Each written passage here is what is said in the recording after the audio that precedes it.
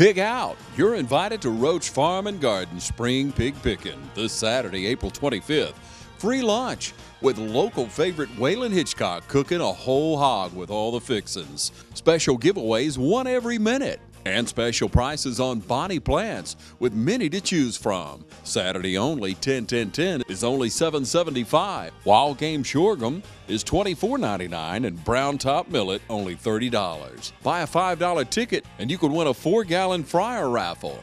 So pick out this Saturday from 11 to 1 at Roach Farm and Garden Spring Pig Pickin'.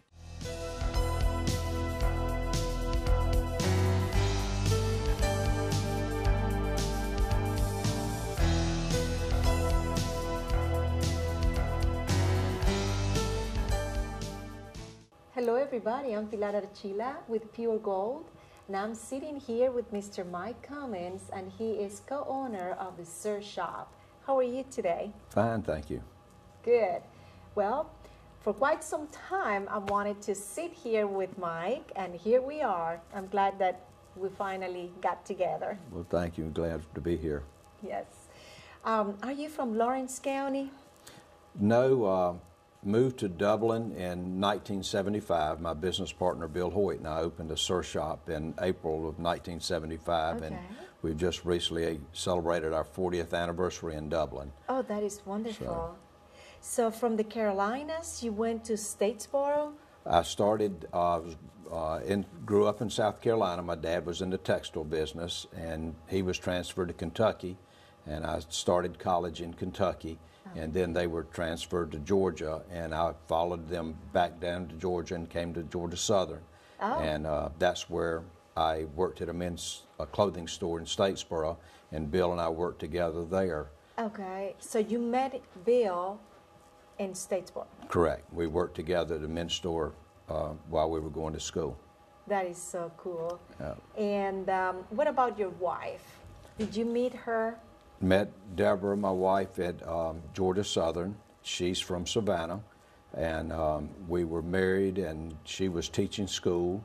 She taught in Claxton uh, when she first got out of school, and then we came to Dublin. She was in the city school system, and when we had children, she stayed at home with the children. And then when she went back to school uh, to teach, she uh, went with the county system, and she was at just recently retired out at Northwest Laurens. Oh, really? So, Well, one of my children went to Northwest Laurens. Yeah. Um, well, and he's already out of school, out of college, but he actually, when we moved to Dublin, he went to, actually, it was Southwest first, and then he went to Northwest. right.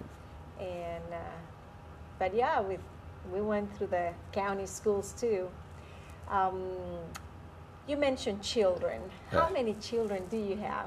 We have three children. Um, have Brandon, who is our oldest, uh, Lindsay is our middle child, and Creighton is our youngest.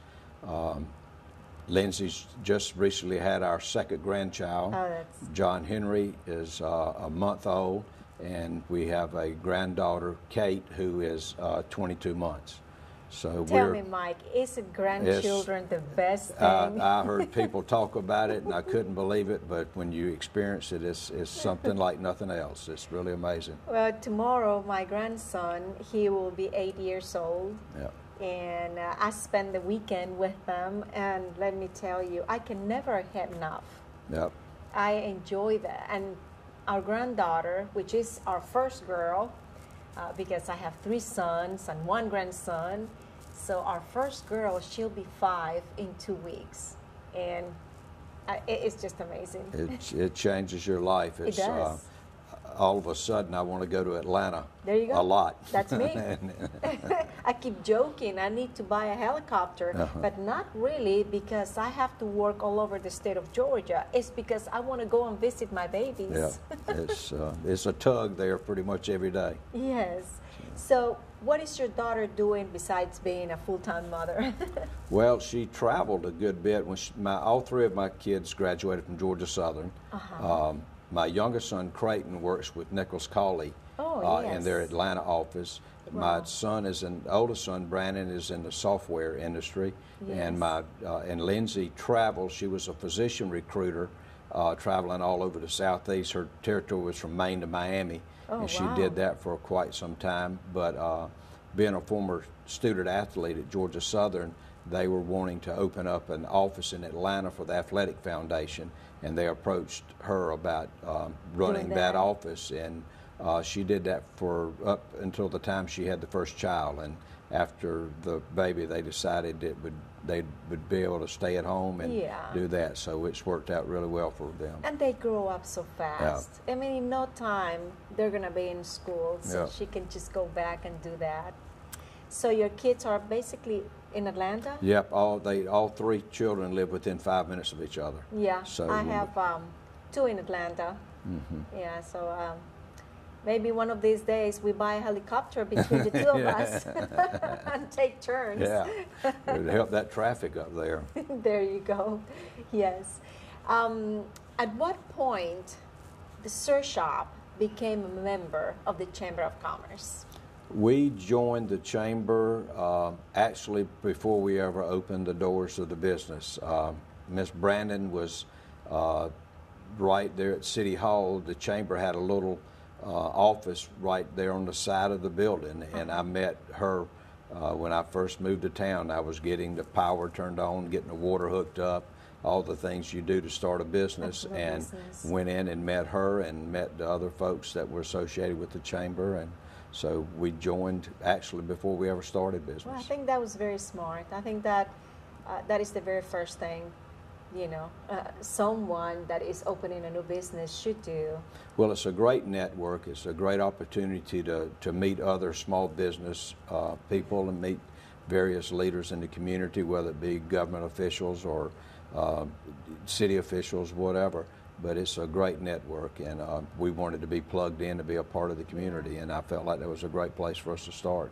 It was uh, good. Now, you mentioned your wife is retired now. That's correct. So that sounds so good. Yes. But sometimes when you retire, you're more busy than when you were working. And that's that's the case. Um, her mother's in Savannah, and um, she, her sister is in Connecticut. So up until about a year ago, her brother was in New Orleans. Uh, so she was the closest. So she would go to Savannah and help her mom with some things, and then. With the babies in Atlanta, she goes there. So she's either headed to Atlanta or Yeah, Savannah. So she's actually retired from a paycheck, but she's not retired from the working. From the working. Yeah, I know the feeling. Yeah. Going back to the Chamber of Commerce, Mm-hmm. um, we mentioned that it was a great idea for you guys to, Mm. to do that and to become members of the Chamber even before you open. Um, what would you tell someone out there? Um, why is it for you? It was a great idea to be a member of the Chamber. Well, I think um, as a small business owner, it's hard to have uh, things going on in your business and also having enough time to dedicate for other interests that you might have inside the community or state level or even on a, a national level. And the Chamber's a great uh, advocate for small business from that standpoint. And uh, it gives you a hub for all of you to come together and pool your resources and try to do things that are good for the community. And if it's good for the community, it's good for uh, For for, all of us. And and the stronger we are as a business community, the better offerings we can make to the people here in Dublin and Laurens County and surrounding counties. Absolutely. Well, we're going to take a very short break, and um, please stay tuned. We're going to take a short break. Don't go away, please. We're back, and thank you for staying with us. I'm sitting here with Mike Cummings, um, co owner of Sir Shop, and we're having a delightful conversation. Mike, um, I know you were a chair of the chamber board. What year was that? 2000 and 2001. And you know, I remember that. Yeah. Tell me uh, the highlights of that year when you were chair. probably one of the most significant uh, accomplishments we had that year was we implemented the Keystone membership. And these were um, individuals and businesses within the chamber membership that uh, saw a need with our staffing as far as uh, being able to give them additional training to um, supplement with their um, salaries and their benefits. We uh, had quite a bit of turnover because there's a high visibility. A lot of people within the community interact with the chamber staff, and if Yeah. you've got a really strong key employee, Right. then all of a sudden people will approach them. Exactly. So we uh, went to various people and asked if they would, uh, in addition to their normal dues that they would pay annually, if they would supplement that as a member of the Keystone. And um, it was a huge success, and it continues today. And, and those individuals and businesses have done a great thing for this community by by doing that because our, our retention rate of employees uh, was much better. We were able to send them to special training, Yes. which made them much better for us at the chamber and made themselves much Uh-huh. better in the roles that they played at the chamber. You know what I love about this community? Every time we need something, people pull They it. together and they do it. They do. It's, They, you know, And the th- amazing thing is, um, sometimes we as citizens don't realize it as much as outsiders. Mm-hmm. When you go to industry and trade and various Yeah. state organizations that go and they'll go all around the state and they see the interactions between city and county government or various uh, Yep. business. Uh, they can. It stands out when you've got a community like They Dublin that in Laurens County that work everything is- well yes. and they tend to when there's a major project and there's something that needs to happen they they work on it together and and, Right. and it's recognized for that Yeah, and people, I mean, all we need is to ask and people immediately respond. yeah And I think that is great, you know, in a community like ours. yeah Um, I, I know, um, I think there was something else. I mean, there was a bunch of things that happened during that year. yeah we um, we did the student of the quarter Uh-huh. uh, in doing that we wanted to recognize various students at the high schools the um, four high schools in the county Right. in Laurens County and Dublin, and um, to let them know that the business community and recognize recognize. that their hard work, and, Yes. and and so each quarter we would recognize an individual, and um, and that's been 15 years ago, and we still do it. So uh, it's it's been something I think that. It's good for the business community to interact with these young people, but it's also good for the young people to know that the adults in the community uh, Care care and- about it and want to see them and, successful. and they're interested about you know that. Now, let me tell you, and uh, I believe that those students, uh, after being recognized here, they're more likely to think, "I would love to come back to this community and work in this community because uh, it's a community that care and and uh, give me support and all that stuff." I, I imagine. I think so, and, and I think the success that, that we've had in the last 15 years has made us a lot more attractive to New kids, and the right, and the kids that go away to school Mm-hmm. where they may not have thought Dublin was a real great place to come back to. Now all of a sudden, um, we may be a viable place for them to look. Mm-hmm. Exactly. And, um, or if they do go to Atlanta for a few years, maybe they like the little slower pace that we might have here. So, um, but we've got, I think, a lot of great things to offer young people, and, and that's what we need to continue to make us green and growing is to have Yeah. that youth coming back and somebody to push and uh, carry it like the older group has done for years. Exactly. You know, a lot of people say, Pilar, your kids are in Atlanta, uh, interpreting for the court system, you can still do it in Atlanta. Why don't you consider moving to Atlanta? Dublin is my home. Yes. and I love Dublin. Yeah. So uh, I love my children too, but it's, this is my home. Yeah, I'm happy here. Great community and great lot of good It's- it's- things. yeah. Another thing that I know it happened during that year was the industry, uh, the golf tournament appreciation uh, the golf tournament, And, which we just had. Had one. last week, yeah. Um, industry appreciation started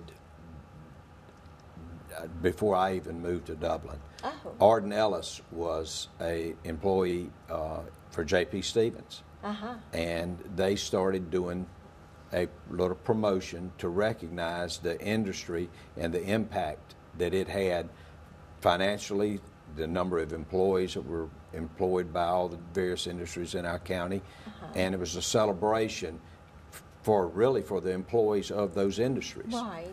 And um, and Arden was a good friend, and he got me involved in it. And um Arden ended up moving from uh, Dublin up into the Carolinas, and I took over as chairman of Industry Appreciation Day, Ah. and uh, did chaired Which that for, for- for 20 several oh, years, 20 yeah. something years, Yes. and. Uh, and and they grace you know graciously let me step down. It was a, a a lot of responsibility. We grew it to have over 300 and something participants. Uh, Yes. Uh-huh. Had three golf courses uh, full of, of golfers for that day. We had tennis, we had bowling, and a big celebration that night with the dinner. And it was um, it was a great great event. And um, we started the Arden Ellis Award to various people within the community that supported that event and did a lot of things um, to make that what it is today. Yeah, well, it's amazing, and I had a great time, and as always, I always look forward to that. Yeah. I, I'm not a golfer. I tried. I really, uh, to me, it's a little slow. Yeah. Well, that day is extremely slow, but, Uh, Yeah. but it's a, it's a fellowship, and, and it brings a lot of people together within the community that you really your paths don't cross because of the work um, schedules and, and the way that everybody travels. and that's to- why you know I, I always end up going over there um, because of the fellowship and you know just seeing everybody and I enjoy that. Yeah. Another thing that happened in that year was BRAG. The, they came to Dublin Right. for two and a half Two days. and a half days. We had the bicycles ride across Georgia, um, and there was another community effort. Um, We housed. They had campsites all over the Uh-huh. All over. West Laurens and Dublin Absolutely. High School. Uh, they used the showers at the locker rooms. Uh, we had bands playing. We had uh, all the restaurants had specials for the riders, Yes. and um, and it was a community effort just to accommodate that many people for that period of time, and it was a, a lot of fun. Another thing that I really appreciate that I enjoy and I like is the shop at home. Yeah, I think it's a very good way because I believe in, in spending money here in town. Uh, but you know, if you go to the chamber and you got the certificates, right. that's a great way to help our community.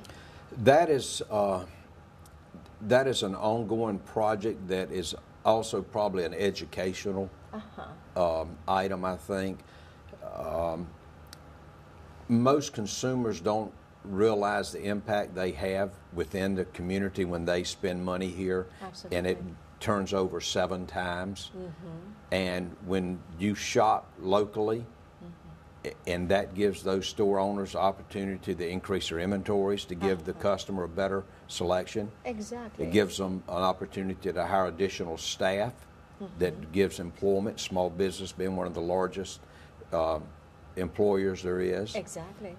And then all of these businesses get contacted by the cheerleaders, the baseball team, the football team, Yep. um, your various churches, um, all of the different uh, fundraising that needs to be done in Yep. the community.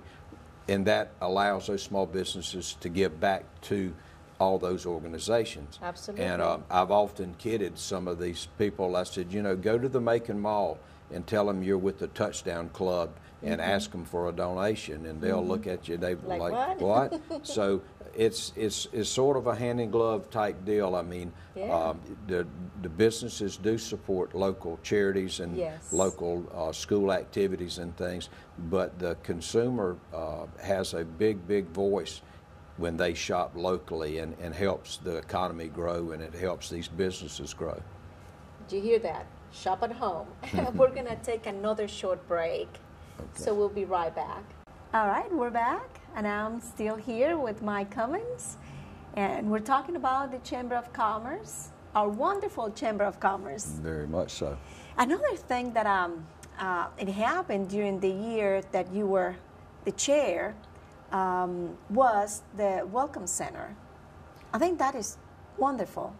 Yeah, it was pretty exciting. Saturday morning, uh, Judge Flanders and his family donated the property Uh-huh. uh, for the Welcome Center, which is out by the Cracker Barrel. But at the time, there was not much out there. Exactly. Just that exit. It, um, but we went out and had a groundbreaking that morning, and Yes. um, fortunate to get some state funding Mm-hmm. to get it going. We had the um, tourism money that goes uh, for the promotion of tourism in Right. Dublin and Laurens County, so we were able to use utilize some of that money.